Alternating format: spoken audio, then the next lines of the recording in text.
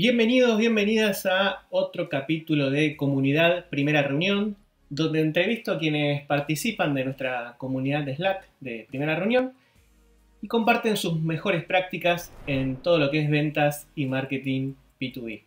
Si te interesa formar parte de la comunidad, es muy simple. Eh, podés ir a www.primerareunión.com y hay un botón que dice comunidad de Slack y de paso ves en el sitio todo el contenido eh, que hay, o más fácil, en la descripción del video te dejo un link para unirte.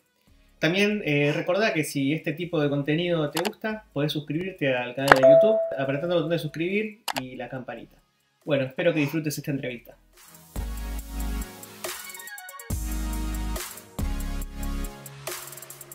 Bueno, bienvenidos, bienvenidas otro episodio de Comunidad en Primera Reunión. Ya esto está tomando un poco de forma. Este, espero que les estén gustando estos primeros episodios. Hoy tengo del otro lado a un valiente más que se anima a estas entrevistas, eh, a estas primeras entrevistas, antes de que salgan en vivo, eh, que también es miembro de la comunidad de Slack de primera reunión. Tengo del otro lado a Leonel Gierbert, CEO y founder de Storydots. ¿Cómo andas, Andrés? ¿Todo bien? Te la puse difícil con el apellido. ¿Cómo es? ¿Quién? ¿Herbert? No. Herbert. Herbert, Herbert. Pero es complicado, sé que no es el más amigable. Herbert, ahí está. Bueno, eh, antes de, empezar, Leo, te podemos decir Leo, sí. Sí, sí, sí, 100%. Antes de empezar, Leo, te quería preguntar, eh, ¿Qué hacen en Story 2? ¿Qué problema resuelven y a quién? Y un poco si te querés presentar vos también. Perfecto. Bueno, me presento un poco yo. Me llamo. Tengo 30 años, que ahora es eh, IT, y en resolver eh, problemas digitales, por así decirlo. Eh, mi primer acercamiento con, con todo este mundo fue que dejé de trabajar a los 22, 23 años en la carrera corporate y abrí mi propia marca de calzado, de zapatos de hombre, 100% eh, online. En 2014, cuando vender online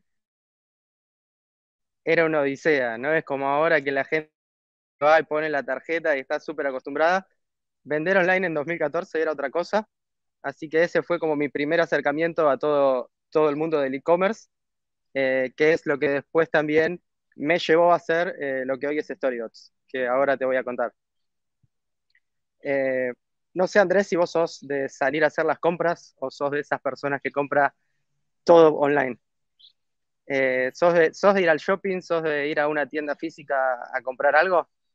sería un híbrido, porque a veces he comprado, por ejemplo, el supermercado online, pero tengo que admitir que a veces nos gusta tenemos uno muy lindo acá cerca de casa y nos gusta como paseo, pero por ejemplo ropa compro bastante online. Eh, depende, soy, soy un poco del momento y, de, del producto también. Perfecto. Bueno, cuando vos vas a hacer una compra de tipo presencial en una tienda física, siempre pasa que al momento de pagar, cuando uno está en la caja, te hacen lo que a mí me gusta llamar la pregunta mágica, que es si es para regalo. Siempre que estamos nos preguntan eso y si uno contesta que sí, entonces al paquete lo envuelven distinto, le ponen un moño, te sacan la factura y ponen un ticket de cambio. Esto, que, que es muy común y se da como un estándar en todas las tiendas físicas de la mayoría de las marcas y casi en todos los lugares del mundo, no pasa en e-commerce. El 90% de los e-commerce no están preparados para regalar y cuando alguien está pensando en hacer un regalo online, en ningún momento puede ni siquiera indicar que se trata de un regalo. Entonces, o no lo puedo hacer, o la persona que va a recibir va a recibir con un packaging estándar que no tiene nada que ver con un regalo, no va a saber quién se lo mandó, va a saber cuánto pagué. Entonces, ese es el problema que venimos a solucionar desde StoryDots pero igual me gusta decir que Storybots es como una cebollita a la que uno le va sacando las distintas capas y se va metiendo un poquito más adentro del producto.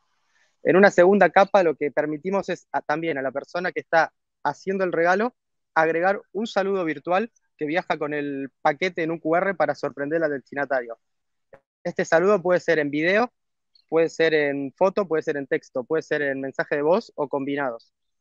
Y lo que hacemos es descubrir un montón de datos de estos regalos. Por ejemplo, si hay alguien que es recurrente comprando regalos de esa tienda, la trazabilidad completa de este regalo, porque lo que está pasando es que yo le estoy eh, regalando algo a otra persona que va a pasar a ser usuaria de esa marca.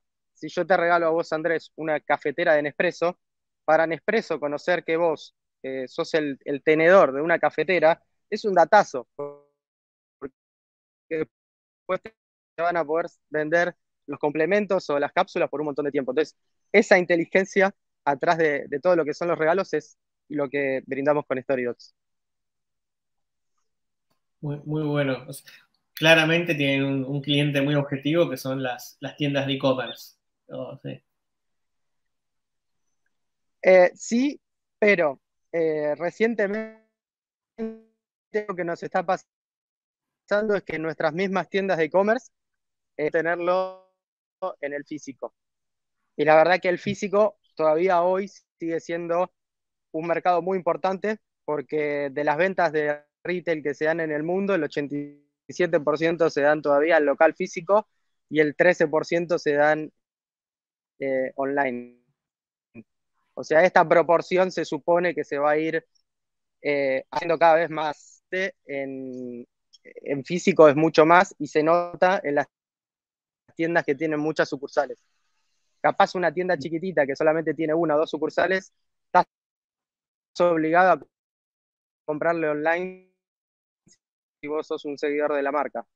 Tres cuadras eh, se da mucho lo que es eh, la venta física. Claro. Che, y bueno, y te hago la primera pregunta que hago a todos los invitados, es, ¿qué fue lo primero que vendiste en tu vida?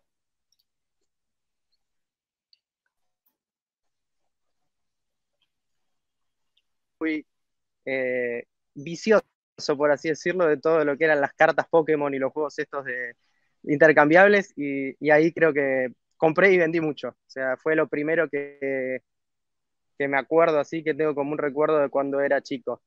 Eh, más adelante, como te contaba hace unos minutos, vendí zapatos online y después puse un showroom para vender esos zapatos online. Así que vender zapatos uno a uno dentro de un showroom es una experiencia muy divertida, te, pasa de todo. Muy bueno. ¿Y cómo, estás hoy conformado tu, equipo eh, general, eh, principalmente lo comercial, ¿no? pero ¿qué roles hay? Qué, ¿Cómo están armados? Bueno, eh, ya tiene un entre un año y medio y dos años. Eh, empezamos de cero y siendo solamente dos personas, mi cofundador que se llama Pablo y yo y hoy ya tenemos un equipo de nueve personas. Eh, en cuanto a lo comercial, todavía estamos bastante tranquilos. Eh, la mayoría de los perfiles que tenemos de estas eh, nueve personas son más perfiles orientados a lo técnico, al desarrollo, porque lo que tiene quizás también el producto tecnológico es que uno necesita primero desarrollar bastante para salir a vender tranquilo. Entonces, estamos medio ahí en, en esa encrucijada donde ya queremos salir a vender más fuerte, pero también sabemos que si desarrollamos más rápido y tenemos más integraciones, vender es más fácil. Entonces siempre está esa, esa discusión. Sí, total. Eh, en cuanto a lo comercial, hoy yo soy la persona que, más lleva las reuniones. Eh, hemos tenido un chico que nos ayudaba también con, todo esto, pero hoy quedé yo solo. Eh, siempre probando cosas. Hemos, por ejemplo, contratado una agencia de prensa para ver si sacando notas en los medios y haciendo este tipo de acciones venían más los clientes eh, como en una estrategia de, más de pool en vez de nosotros ir a buscarlos y, estamos ahí probando. Ok, Pero perfecto. Justo hoy estamos buscando una persona comercial para, para arrancar a armar ese equipo. Ah, muy bueno. Este, bueno, interesante por si justo alguien está, está viendo y quiere, le, interesa en, el camino. Está buscando, pasé el chivo. Pasaste el chivo, para eso estamos, para eso sirve esto. Así que, y ¿qué te iba a decir? Y, un poco ahí me, tiraste algunos centros, pero ¿cuáles son las estrategias que hoy tenés de, adquisición de clientes? O sea, me dijiste que probaron nota de prensa, están haciendo prospección también, ¿cómo, cómo son las estrategias hoy?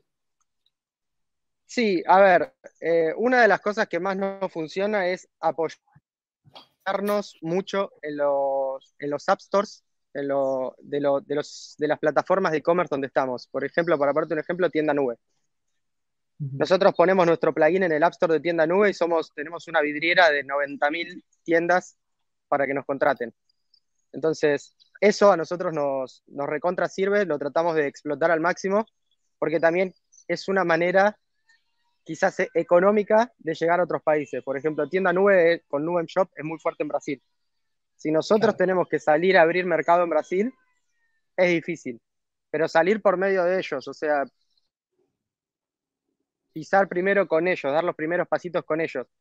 Y gracias a, los primeros clientes de esta plataforma, conseguir otros clientes más grandes, se nos hace más fácil. Entonces, eso es uno de los caminos que, solemos utilizar.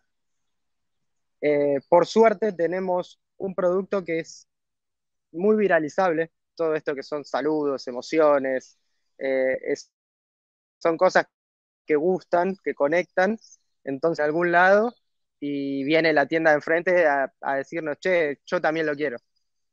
Eh, así que desde ese lado eso está muy bueno. Y después una de las cosas que también hacemos es mirar los clientes que tenemos, a los clientes que les funciona bien y tratar de buscar clientes similares. O sea, yo tengo un cliente acá, no sé, que es número uno de determinado sector. Bueno, vamos a, ver en Colombia quién es el número uno de ese mismo sector, porque seguramente le debe funcionar igual de bien. Y le voy con el caso de éxito ya preparado y a mostrárselo. Muy bueno.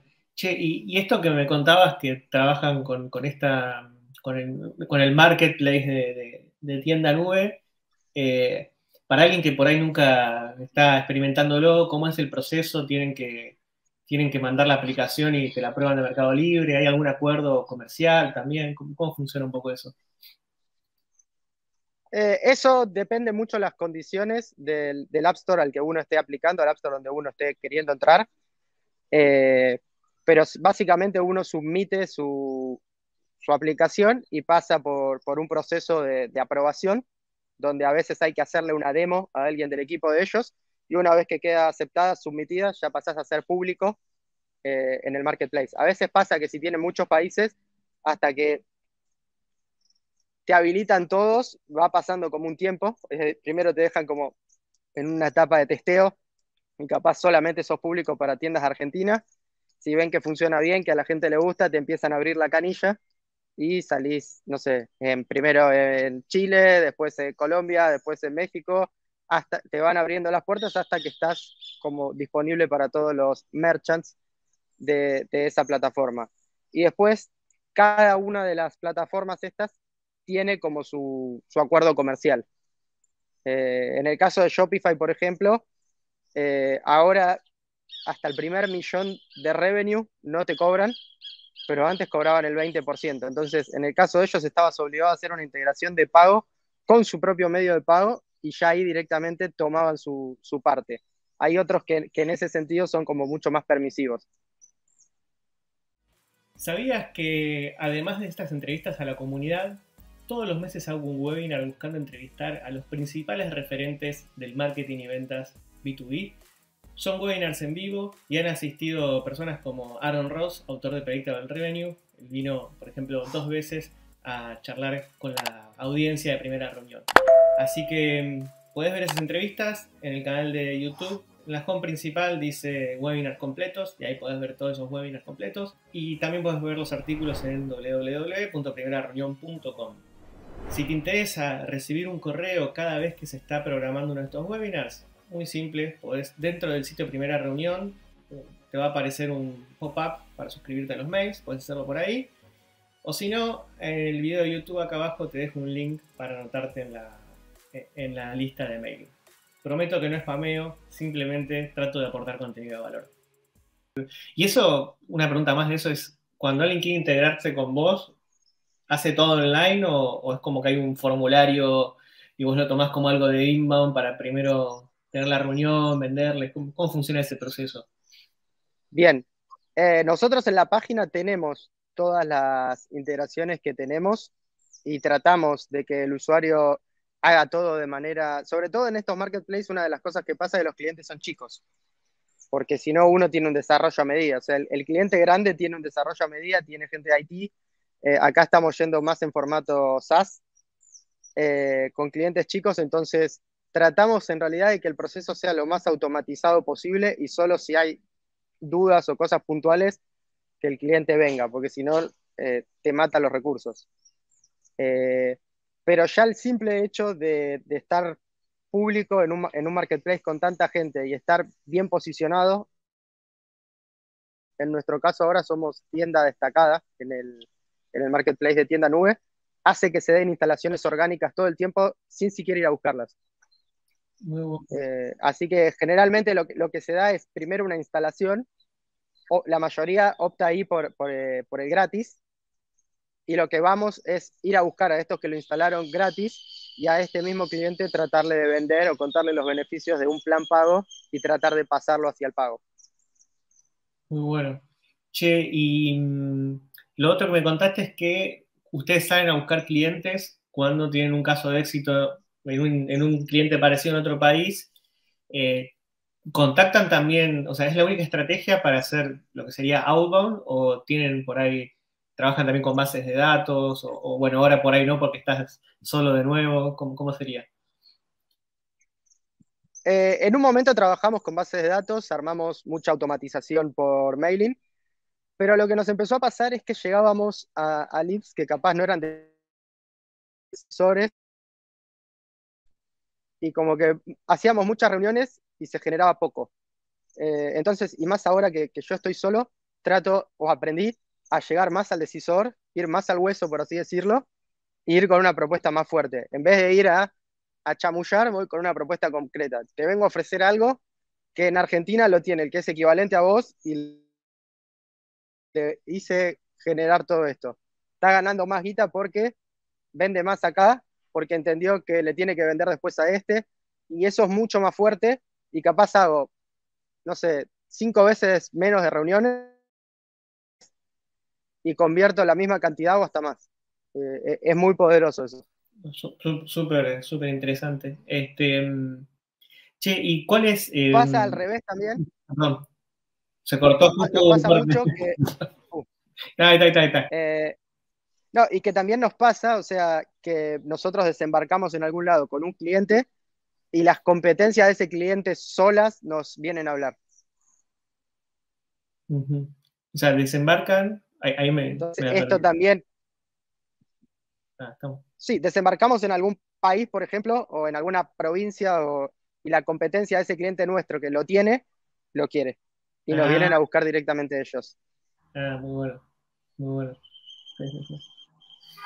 Em, ¿qué te iba a decir? Em, y yendo ya más a métricas, vos que, y quizás enfocándonos más, bueno, está bueno como SEO, pero también en la parte comercial.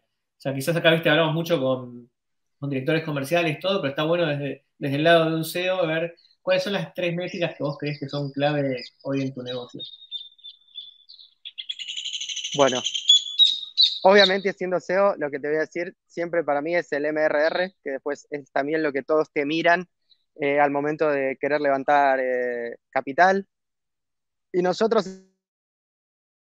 está, o sea, nosotros lo que tenemos con eso un tema porque estamos a pocos días del Día de los Enamorados.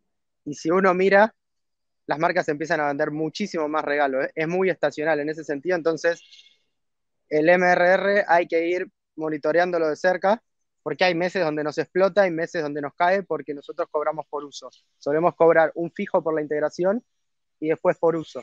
Y ese uso a su vez es variable. A más consumo va bajando, a menos consumo es más alto. Entonces, el MRR para mí, y también siendo contador, eh, es una métrica clave. Eh, y más apuntado al lado venta mí lo que me gusta, la métrica que me gusta mucho es el ARPA. Eh, me gusta mucho entender los problemas de mi cliente, con un cliente que ya tengo confianza sobre todo, y tratar de seguir ayudándolo eh, y también a veces desarrollar a partir de los problemas de él, porque sé que el problema de él seguramente se le repite a otros. Entonces, me ayuda a aumentar el revenue con mi cliente, que quizás es más fácil que salir a buscar uno nuevo para venderle, y fortalezco mi, aplicación. O sea, nos ha pasado mucho. Por ejemplo, un cliente nuestro notamos que en sus locales lo entregaba con un, cuando vendía más, eh, tickets más altos que dos mil pesos. Es decir, lo ancló como el envío gratis. Lo quiso anclar y era, tenés el saludo virtual gratis si compras más de dos mil pesos. Y esta estrategia al cliente le sirvió, levantó su ticket promedio. Eh, entonces, lo que hicimos fue tomar esto y, por así decirlo, comoditizarlo. Lo empezamos a ofrecer para nuestras integraciones. Eh, entonces, esto viene del lado del ARPA, o sea, trato de desarrollar funcionalidades para poder venderle más al mismo cliente que ya tengo y a su vez eso lo trato de bajar al resto de los clientes. Por, si alguien no, no está eh, familiarizado con las métricas, MRR serían el dinero mensual que, te ingresa recurrente. Eso, una pregunta, ahí vos entonces el MRR lo calculás sumando el fijo más el consumo, digamos. Sí, exactamente. Bien. Y por mes. Después... lo, que en realidad me hace el, eh, que, varíe es el consumo mensual. Claro, claro. Y em, el ARPA sería, eh, hablando en criollo, cuánto dinero te deja en, un año, es, ¿no? El, cliente. No, el ARPA es el revenue promedio por cuenta. Ah, por cuenta, perdón. Exactamente, que es por eso que trato de subir y trato de que ese número sea cada vez mayor, venderle más al cliente que ya tengo, me es más fácil que ir a buscar un cliente nuevo. Claro, claro, de acuerdo, de acuerdo. ¿Y alguna otra métrica que la tengas ahí? Y después, sí. la, y el, el, costo de adquisición de clientes. El costo de adquisición de clientes es clave. Eh, ahí fue que te decía que, que, por ejemplo, para los marketplaces, donde son tiendas chiquititas, a veces poner un comercial, hacer una venta muy consultiva, no rinde. Claro. Porque lo que después lo tenés que tener, el lifetime value que después tenés que tener de ese cliente es altísimo, es un montón de meses y no va. En cambio, bueno, en estas ventas corporativas o cuando salimos a buscar a un cliente similar a uno que ya tenemos, es porque ya sabemos que rinde.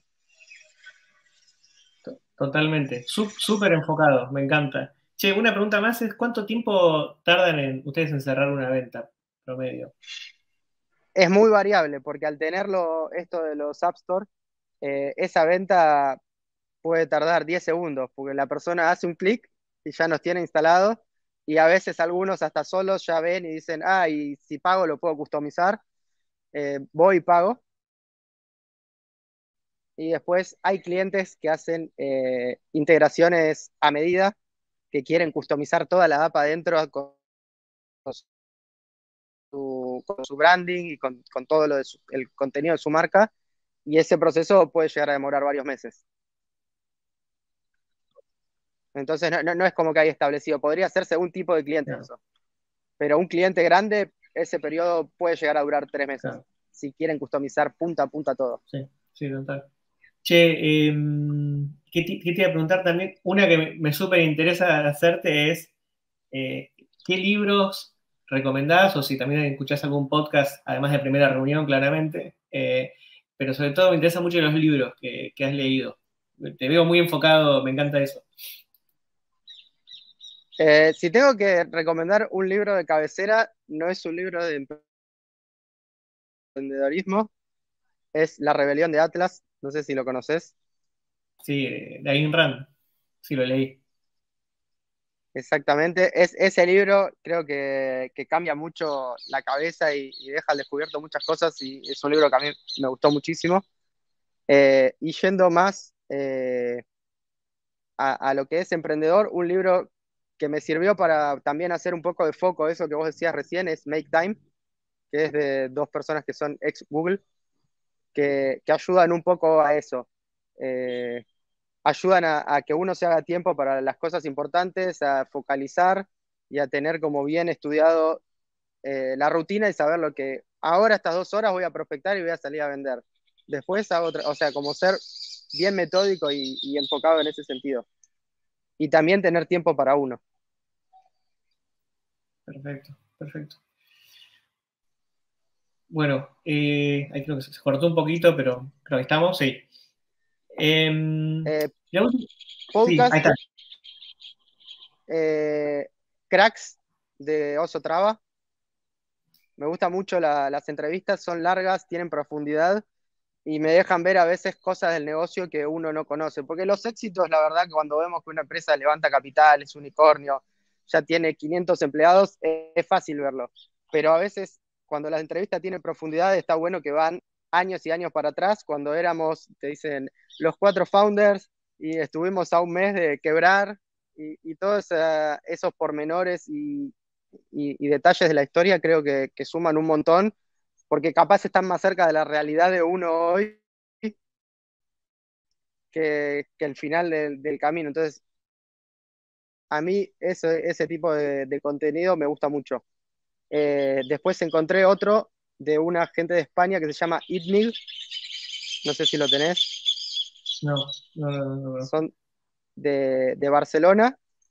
Eh, y también cuentan todo con mucho lujo de detalle. Tienen un, un capítulo de fundraising que para cual- si, si hay gente que sea CEO, súper recomendable, cuentan todo el proceso en detalle y cómo con un term sheet en la mano van a palanquear al resto de los fondos. O sea, muy bueno. Cuentan el detrás de escena, que eso es eh, un poco lo que a mí me gusta. Eh, eh, y, y debo decirte que el que hacían ustedes en Sirena, debajo del marketing, lo escuché todo, me gustó mucho, eh, porque también tenía, tenía eso- esos detalles y, y esas cosas eh, del día a día que, que creo que es lo que, lo que más enriquece. Hay que- hay que pedirle a Julián que, que vuelva entonces con, con el podcast de Bajo del Marketing. Estaba Eh, bueno. El primero, ¿cómo me dijiste que se llamaba? Cracks. Cracks, Y el así. segundo, Cracks. Y el segundo, Itnig. Ok. Eat, eat meal, tipo com- como Itnig. comer la. Ahí te lo escribí Ah, por chat. Ah, a ver, espera. Ah, después lo. lo- ah, it, I-T-N-I-G. Perfecto. Bueno, em, y para ir cerrando, em, una pregunta es: ¿qué, hay algo que vos hoy sepas que te hubiese gustado saber cuando empezaste a emprender? Bueno, creo que esto del foco es algo que me hubiese gustado. Eh, cuando, cuando alguien arranca, quiere salir a vender por todos lados y en esa adrenalina eh, de vender eh, o tratar de meterlo en todos lados, quizás malgasta un montón de tiempo. Y capaz es mejor ponerle foco, ir realmente al cliente que sé que me sirve, que me va a dejar, y hacer más reuniones con, con ese tipo de clientes, aunque tarde más en cerrarse, eh, que va a traer muchos más resultados a futuro. Perfecto. Estamos. No, y eh, bueno, y primero agradecerte y si te quieren contactar para trabajar con vos, ahora que, estás buscando eh, a alguien comercial o, para contratar a Leonel, eh, además de la comunidad de primera reunión, ¿cuál es tu, tu vía de contacto eh, preferida? Eh, creo que LinkedIn es eh, lo más accesible, al alcance de todos. Acá está, estoy viendo que está mi nombre eh, Claro. tagueado, así que me pueden buscar por ahí. Y si no, mi mail es leo.storydots.app. Perfecto. Bueno, Leo, muchísimas gracias por el tiempo. Un gusto haber aprendido hoy de vos. Muchísimas gracias a vos, Andrés. Bueno, Muy bueno el, todo el podcast y la comunidad que estás creando, así que eh, seguí para adelante y, se vienen grandes cosas. Perfecto, bueno, muchísimas gracias y son motivantes esos, esos feedbacks. Bueno, esta fue una entrevista de comunidad primera reunión. Espero que la hayas disfrutado. Yo disfruto todas este- estas entrevistas. Así que si te interesa formar parte de la comunidad primera reunión, acordate www.primerareunión.com y ahí donde dice comunidad Slack te anotas o acá en los comentarios más fácil está el link y llevas directo para, para Slack. Si te interesa que te entreviste, es muy simple también. Hay un formulario acá abajo, lo completas y voy a intentar contactarte lo más pronto posible, siempre en la lista de espera. Así que bueno, espero que verte en el próximo capítulo. No te olvides de suscribirte al canal de YouTube para que te llegue una notificación cuando esté el próximo capítulo. Thank you.